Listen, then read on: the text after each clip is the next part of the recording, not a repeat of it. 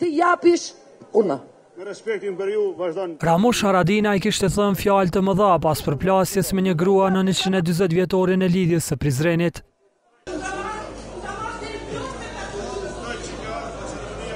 Kishte thënë se po të mos ishte grua, ai do të sillej ndryshe. Me pas kon burrë dhe manë është e kisha kry. Jo, po kjo, kjo është me kërë. Po jo, me po e kërë ishtë, sepse... Por shefi i qeverisë është sfiduar seriozisht nga një burrë në qendër të Deçanit në nëntëmbëdhjetë vjetorin e çlirimit të qytetit. Derisa po përorohej shtatorja e të vrarit në Maqedoni, Beg Rizaj, Ramush Haradinaj nuk është lejuar të zbulojë pllakatën e ish-ushtarit të UÇK-së. Ish-komandantin e UÇK-së e zbrapsi vëllai i Beg Rizajt, Aliu, Megjithëkëtë, Haradinaj, por edhe kryetari i Deçanit dhanë krejt verzione tjera për ngjarjen.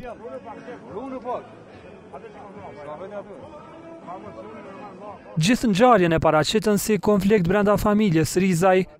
Madje kryeministri konfirmoi mosmarrëveshjen dhe ndërhyrjen e tij, por nuk sqaroi se kush kishte probleme dhe pse ndërhyri.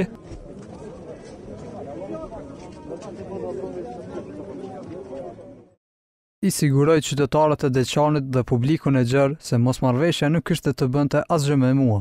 Ndërhyrja ime ishte në funksion të qetësimit të situatës, për të ruajtur figurën e luftëtarit tonë të lirisë.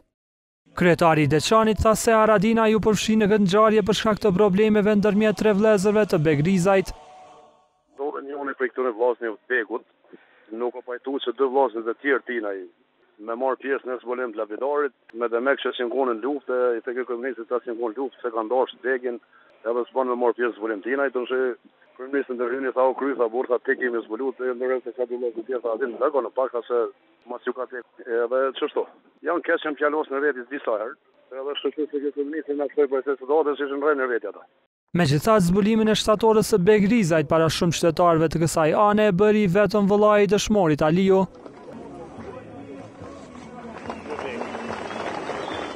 Beg Rizaj ishte vrarë në Kumanovë në vitin dy mijë e pesëmbëdhjetë bashkë me tetë persona të tjerë.